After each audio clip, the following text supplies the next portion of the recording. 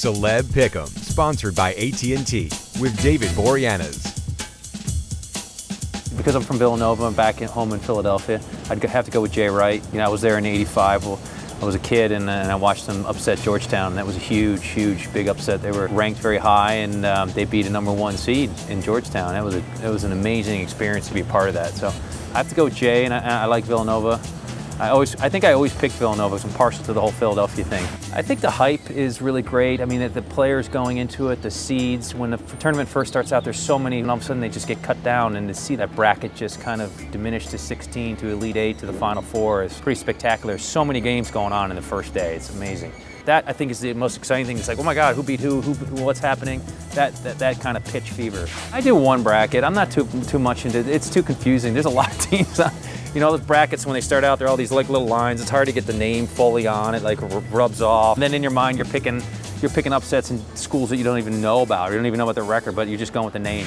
Yeah, of course, you just got to come up with a good excuse. I mean, it's that time of year. March Madness is is crazy, and everybody uh, you know gets involved with their brackets and their challenges, and uh, they have them at offices, and they have pools, and you know I, I, know on set we have a bracket pool. You always go with the uh, you know not too feeling too well. It's a stomach issue. Oh, all the time. If I can get the fake badge, I'll go in there and you know cause some uh, problems on the freeway. Stop. I got to pass. Throw it out the window. I think it's a it's a real proud moment for everybody. 200 episodes is it's it's a historical feat, and uh, didn't think about whether or not it was going to go 10, 50, 100, 150, 200. It, just keep working, doing the job, and uh, from the start, the show has always been comprised of character work, and uh, we've always kind of brought it back to the two characters. Buddy wants some more cake, Daddy. But I already gave him a big piece. But he ate it, Booth. Buddy loves cake. Just cut him another piece.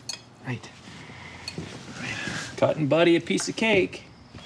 There you go. There's On the plate, Daddy, or I'll get dirty. Wow, you guys are really into this whole imaginary friend thing. It's real simple, man. You need durability. You need to outlast. You need to go one on one with the woman that you're dating. If you don't bring the shine, they're not going to give you the time. Durability, natural, and this stuff lasts, and the colors are amazing. Guys, real easy. Got to get to the fingers and the toes. Everything in between, durability. Durability. Celeb Pick'em, sponsored by AT&T.